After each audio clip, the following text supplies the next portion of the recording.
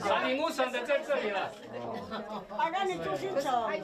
族人们热烈讨论彼此的小米，互相分享种植经验。走进达人乡土板部落的小米学堂，里头正进行小米栽种技术课程。族人表示，随着海拔高低跟小米品种不同，种植出来的大小跟颜色都有所差异。所以一把小米跟花环跟都有它一个行销的方式。我我吃这我走这个行销，啊，有它有它的一个市场。虽然鼓励大的小米卖相比较好，但鼓励小的却能做成美丽的花环。族人透过创意发挥小米的多元价值，而专家也提到，以往部落传统放鞭炮的取鸟方式可能会出现反效果。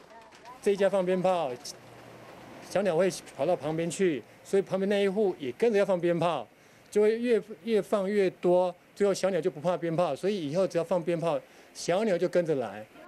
现在正值小米采收时期，土板部落族人自主举办小米复兴课程，还邀请专家分享研究经验，同时发表前往日本行销的成果。表示已经有当地厂商表态要大量收购原乡小米，而目前已寄出样品，等待厂商评估做做认证。这些费用都是由我们这边去负担，你们只要专心帮我们种，按照我们的方式去种。这样就可以了。那我们预计大概一年要出一百吨。那如果接下来后续的话，呃，如果愿意的话，那我们接下来我们就跟南回这个地区，我们就开始就在跟所有的有种植小米的，我们就当然提倡，我们让这个小米出口出去。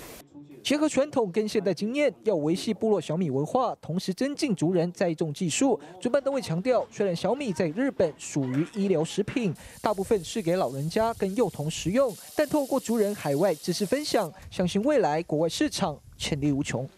原视新闻，资本台东达人采访报道。